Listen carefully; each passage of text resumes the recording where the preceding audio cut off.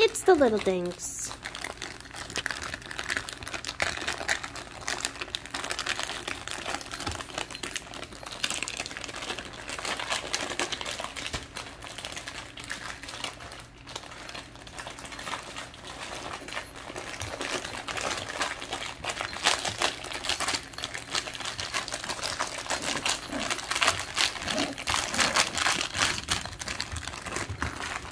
I do need the package open.